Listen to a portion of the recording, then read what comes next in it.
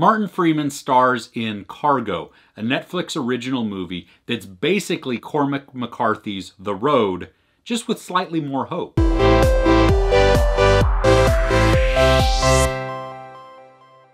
In a post-contagion outbreak Australia, Martin Freeman is on a trek to rescue or save his infant daughter and to get her to safety. Along the way, he encounters others, some meaning harm, some not so much.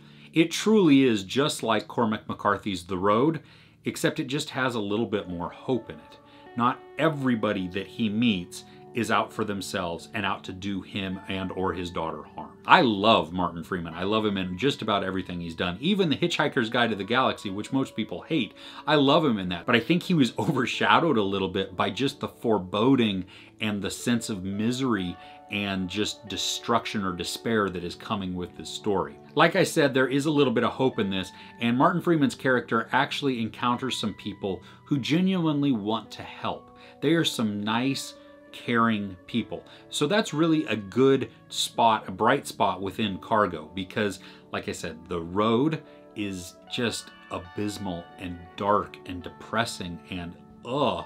And so this one, while it shares a lot of that with it, it has that tiny bit just of bright.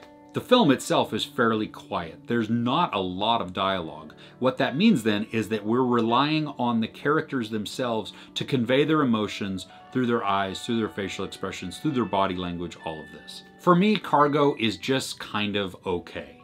It's not fairly memorable, and I'm sure within a couple weeks, I'm really not going to remember watching it. Like I said, I love Martin Freeman. I wish this would have been a better vehicle for him. There's no sex or nudity, some profanity, and a fair amount of violence. I give Cargo 3 out of 5 couches. Have you seen it? What did you think? Share your comments below. If you enjoyed this, don't forget to hit that like button. Also, share, subscribe. I'm Chris. This is Movies and Munchies. Thanks for couching with me.